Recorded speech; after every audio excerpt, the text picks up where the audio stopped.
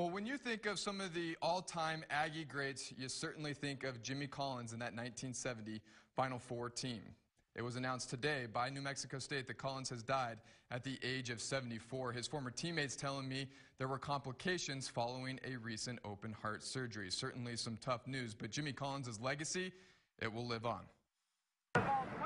The history and tradition of New Mexico State basketball is largely embodied by the 1970 Aggies, coached by the late Lou Henson and led by Jimmy Collins, whose death over the weekend has hit his former teammates pretty hard. I never had to worry about him. I was the captain of the team the two years I was there, and I never had to worry about uh, getting Jimmy ready. Behind his back, between his legs, spin, and and he had a, a soft touch, and he, he shot a knuckleball. His his ball did not really spin.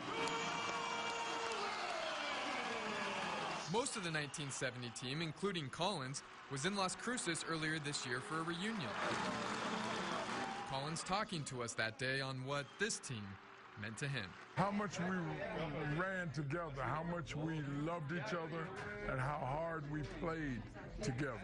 Uh, that is something I can remember. And of course, you got to remember Coach Henson.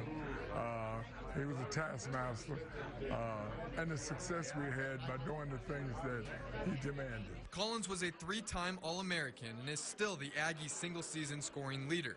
But it's who he was as a person that will be remembered most. He was just my best my best teammate. He was always there to help. He he liked to help everybody. I mean, if you had a problem and you go to Jimmy, Jimmy Jimmy would help you if he could. Always fun talking with these guys and seeing them share the memories from that 1970 team. I also heard Collins was the best dressed on that Aggie team. He may be gone, but his presence will be forever felt inside the Pan American Center. Back to you.